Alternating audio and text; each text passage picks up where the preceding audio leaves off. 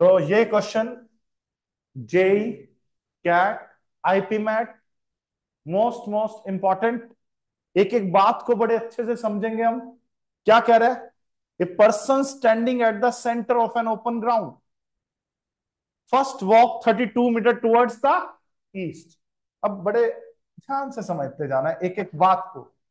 Suppose वो point P पे खड़ा है बच्चों। पहले 32 मीटर ईस्ट की तरफ़ गया।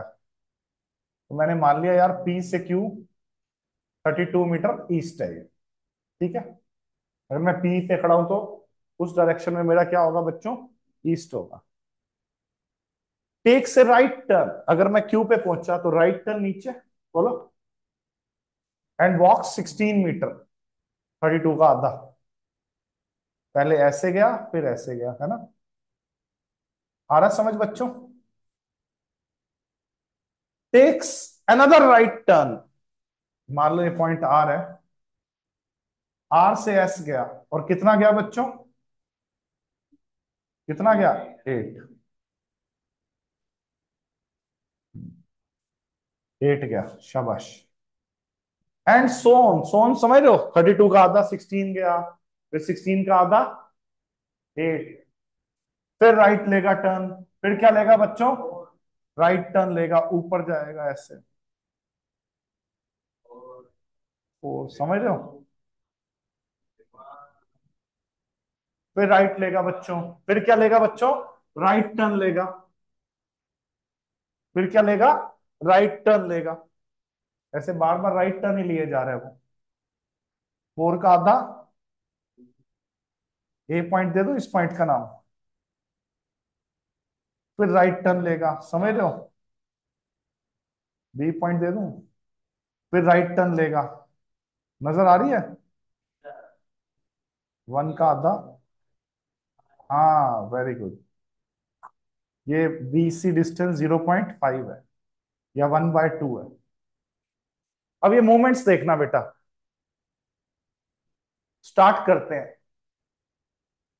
जो सारी ईस्ट वाली मूवमेंट है। तो वो क्या क्या है बेटा? थर्टी टू है।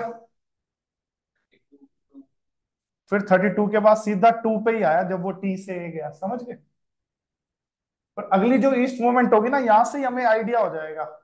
थर्टी टू का वन सिक्सटीन करने पे क्या मिल रहा है बच्चों? टू मिल रहा है। समझ रहे हो? फिर दोबारा वन सिक्सटीन होगा तो क्या होगा? टू का वन सिक्सटीन करेंगे तो क्या आएगा? One by eight. वो आगे आएगा ऐसे। तो ये एक जीपी बनेगा। ये क्या बनेगा बच्चों? जीपी।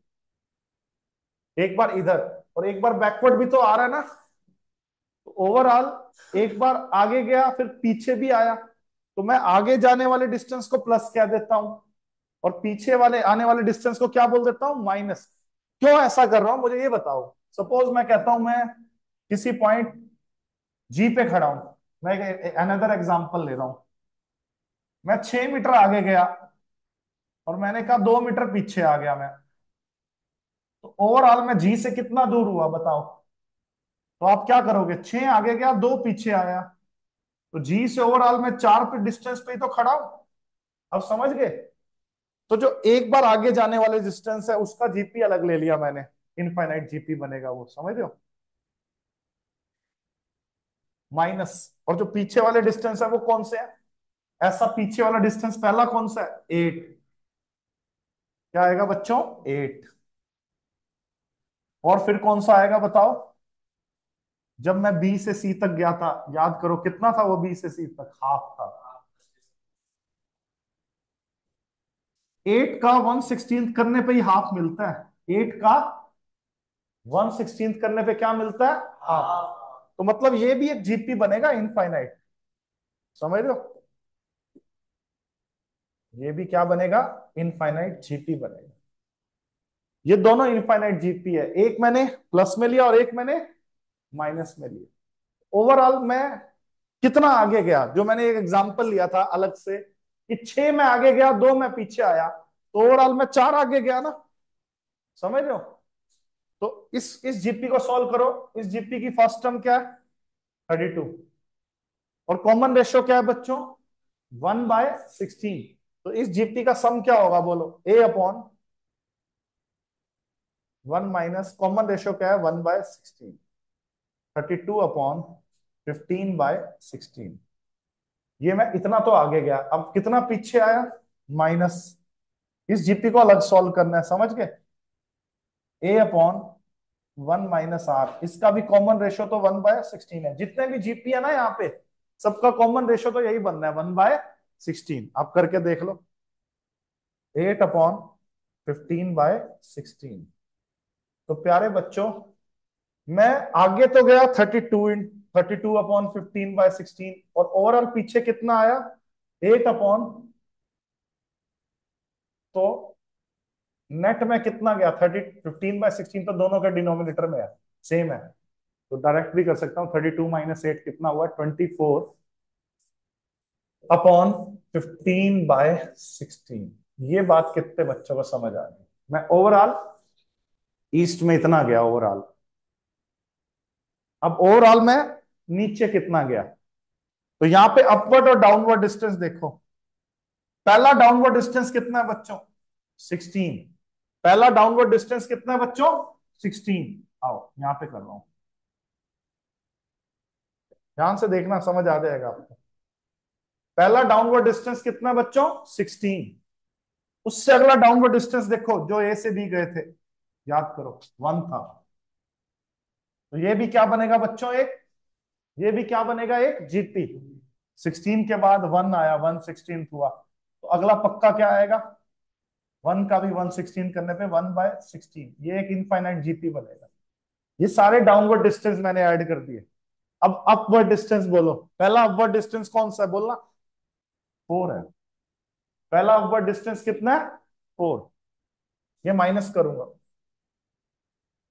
पहला अपवर्ड डिस्टेंस है फोर अगला अपवर्ड डिस्टेंस क्या होगा? फोर का भी वन सिक्सटीन होगा। क्या होगा बच्चों? फोर का भी वन सिक्सटीन होगा। वन बाय फोर होगा। मतलब ज़ीरो पॉइंट फाइव होगा। क्यों? देखो, मैं आपको बताता हूँ। याद करो, इस डायग्राम में देखो, जब आप ऑरेंज डिस्टेंस चले थे, ये कितना था orange distance one by two नहीं था? वन के बाद वन बाय टू आया था। फिर उसका भी आधा। वन बाय फोर नहीं हो जाएगा। जब इधर जाऊँगा मैं। बी से सी तक आया। देखो, मैं अलग से दिखाता हूँ। बी से सी तक आया था यहाँ पे। ये देखो, मैं अलग से दिखा रहा हूँ। बी से सी तक आया था। तो वन बाय टू था। फिर राइट टर्न करूँगा। तो वन बाय टू का भी आधा कितना होगा? वन बाय फोर तो ये ये वो वाला वन बाय फोर है। सारे डाउनवर्ड डिस्टेंस अलग ऐड किए, सारे अपवर्ड डिस्टेंस अलग ऐड किए। तो फाइनली क्या हुआ? ये भी एक इनफाइनाइट जीपी बनेगा। इस इनफाइनाइट जीपी का सम बताओ।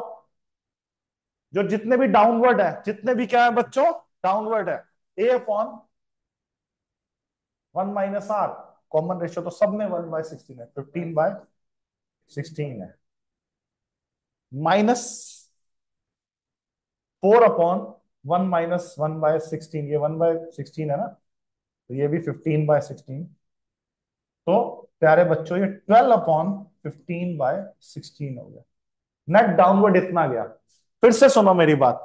बड़े प्यार से, अब ये समझ आने वाला है, आपको बिल्कुल अच्छे से आने वाला है। मैं आपको कहूँ, मैं इस छत से पहले पाँच मीटर नीचे आया। इस छत से पाँच मीटर नीचे आया, फिर दो मीटर में ऊपर चला गया। तो नेट में कितना नीचे आया? पाँच माइनस दो, तीन आया। अब मुझे पी पॉइंट से, ये सब रब कर दू? बस इतना याद रखना कि नेट मेरा ये वाला डिस्टेंस कितना है?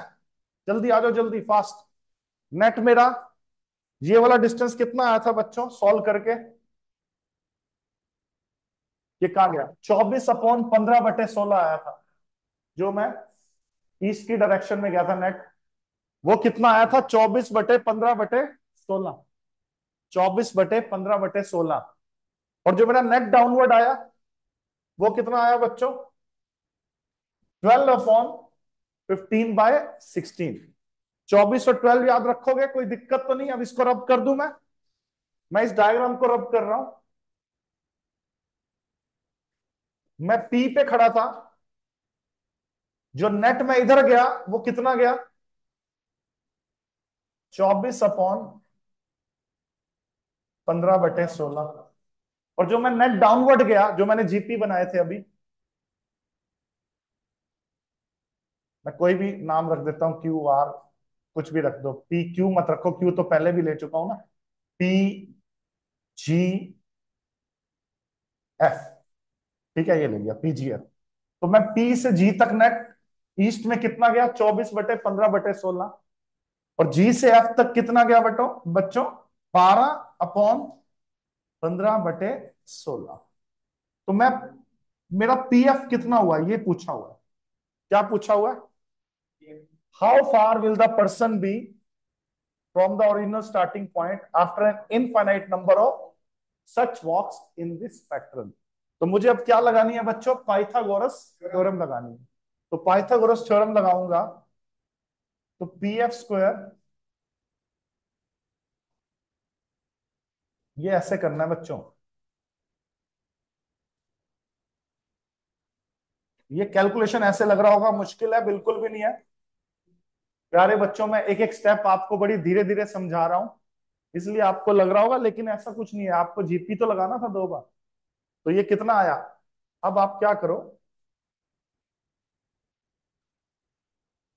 अब पंद्रह बटे सोलह का स्क्वायर नीचे नीचे कॉमन ले लो। अंदर क्या रह गया बच्चों? चौबीस स्क्वायर प्लस बारह स्क्वायर ठीक है? और ये पंद्रह बटे सोलह बाहर आ जाएगा, घूम के क्या बन जाएगा ये? सोलह बटे पंद्रह।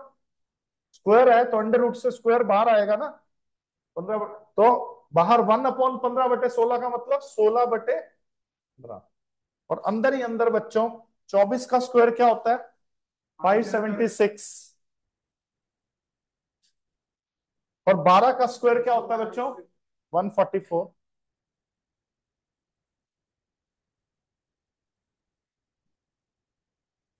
बस ये कर दो अब।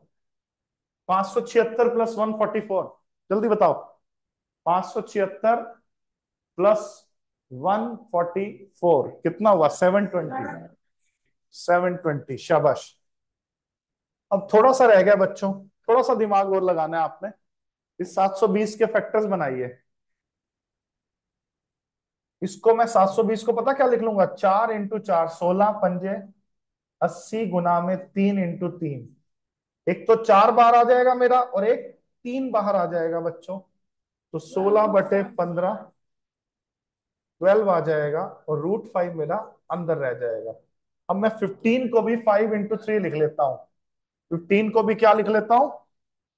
Five into three three four जा और एक रूट फाइव मैंने जानबूझ के कट किया क्योंकि मेरी ऑप्शन में रूट फाइव नीचे है, देख। तो मेरा फाइनल आंसर क्या आया? Sixteen into four sixty four अगर आप एक नाइन टेंथ के बच्चे होते तो आप कहते, यार रैशनलाइज करना है डिनोमिनेटर को। लेकिन उसने जानबूझ के ऑप्शन में डिनोमिनेटर में ही रैशनल नंबर रखा तो हम नहीं करेंगे यार, क्या दिक्कत है? इसको क्या कर देंगे? सी ऑप्शन आ गया। तो वो जो ओरिजिनल पॉइंट से पी से मान लो एफ़ तक पहुँचा होगा, ये डिस्टेंस क्या था? 64 four upon root five metre तो बड़ा ही ज़बरदस्त क्वेश्चन है, जिसमें इनफाइनाइट जीपी चार बार लगाया। तो जाके, और फिर मैंने क्या लगाई बच्चों? पाइथागोरस थ्योरम लगाई, ये बताने के लिए कि ये पी एफ़ कितना है। तो मेरा सी आंसर है बच्चों इस क्वेश्चन का। कितने बच्चों को